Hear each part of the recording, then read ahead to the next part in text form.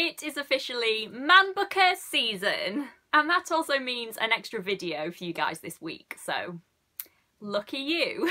Hi everyone, welcome back. So the other day, this year's Man Booker Prize longlist was announced, and that makes me so happy. I absolutely love the Man Booker Prize, as a lot of you probably already know.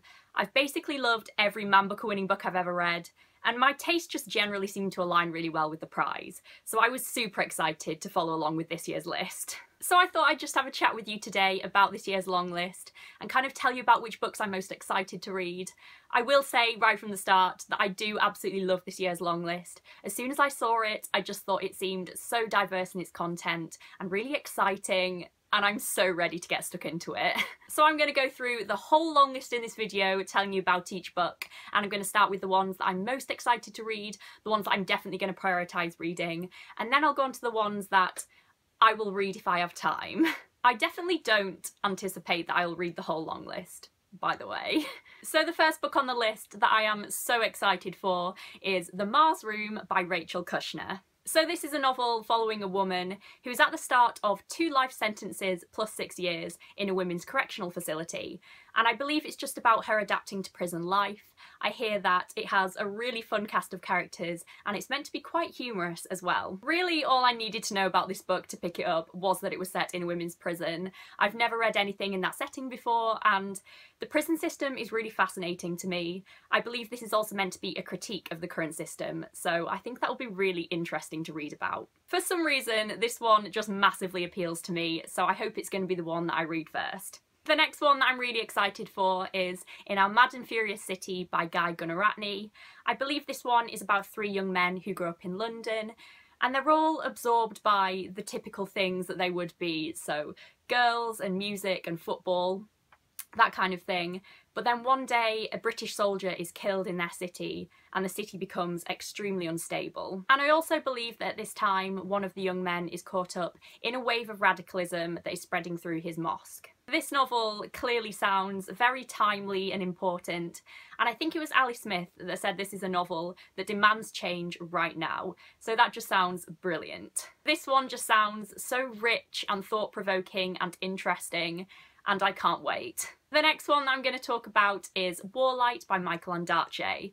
So I absolutely love Michael Ondaatje. I recently read The English Patient by him, which was my first novel by him, and I thought it was great. It had some of the most beautiful writing in it that I have ever read, so I'm super excited to get into this one. I also recently saw Michael Ondaatje talk at the Man Booker 50 Festival in London, and now I just think he's a great man.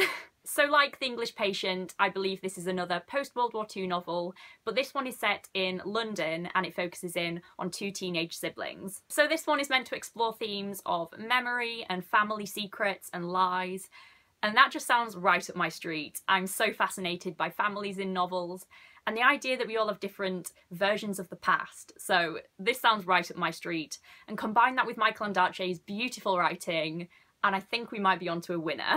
The next one that I'm going to talk about is From a Low and Quiet Sea by Donal Ryan.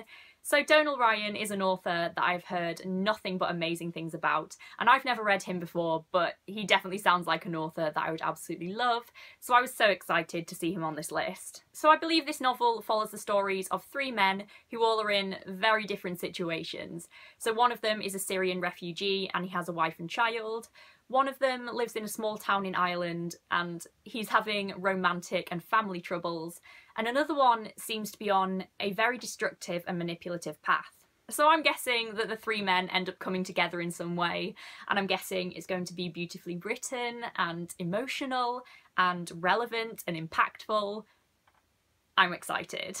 The next one that I'm really excited about is The Water Cure by Sophie Mackintosh. So this is a feminist dystopian novel which right off the bat has me super intrigued because I love a feminist dystopian novel if it's done well but I'm also quite apprehensive because there's definitely been a surge of feminist dystopian novels in the past year or so and not all of them have been as good as I've hoped. So this one is set in a world where girls aren't safe in their bodies and they have to be kept away from society to be kept safe but at the same time, they're also taught things that they have to learn about love, which I don't think are very nice. I don't really know much more about this one. The premise is pretty vague. I can't really find much more out about it, but I kind of like it that way. I've heard that the writing in this one is quite inventive and hypnotic and otherworldly, which really intrigues me because I do like a book with a strong atmosphere. So I'm quite excited to see if I enjoy this one. So the next one is Sabrina by Nick Drnaso, and this is a graphic novel. So this is, of course, the first graphic novel that has ever made a Man Booker longlist, and that in itself has caused controversy. And I don't know, I see both sides. Graphic novels are clearly a very serious literary art form, and they can undeniably be as intricate and intelligent as novels, but then equally, if you include graphic novels in the eligibility, then you can make arguments for short story collections and poetry collections, and it's kind of a slippery slope I don't know, a discussion for another day.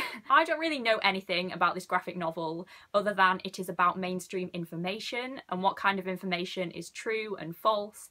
And I think it's also about anxiety and just generally the modern world. This book was blurbed by Zadie Smith, who is an absolute hero of mine, and she said that it's one of the best books she's read in recent years, across any medium, that's made her stop and reflect on the here and now.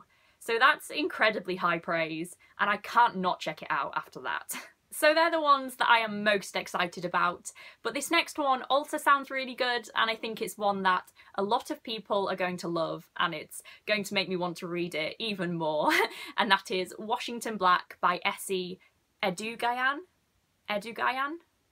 So I believe this one is about slavery and it's quite a big book. It's the longest on the list, I think, and it's meant to be full of adventure and mystery and there's meant to be quite a lot of cliffhangers. So I think this one has quite a lot of potential. The next book is Normal People by Sally Rooney and I was really happy to see this on the list because I've never read anything by Sally Rooney before and I hoped that this would push me to try some of her stuff. Conversations with Friends sounds good and I thought I would enjoy it if I picked it up but I just never got around to it. so I believe this one is about two childhood friends from Ireland who grow up and over the years form a romantic connection. That is literally all I know, but like I say, I've heard brilliant things about Sally Rooney as an author, so I would be interested to try this one out.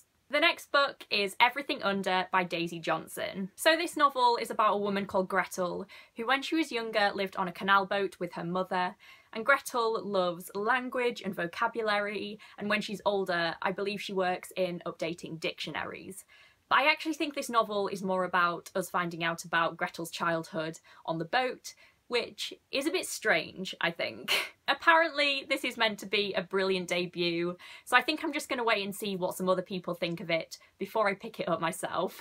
And the penultimate book is The Overstory by Richard Powers, and this is one that's been getting a lot of attention. When talking about the long list, people seem to be all over this one. So I believe this novel is comprised of a few different stories that all end up entwining in a mutual effort to save an area of rainforest. So I believe the different stories focus on someone who works in the Air Force, an artist, an undergraduate, and a sight and speech impaired scientist. This does sound pretty fascinating to be honest, so I guess I'm just going to see how some other people find it. I just realised that I still have three more to talk about, so that wasn't the penultimate one at all.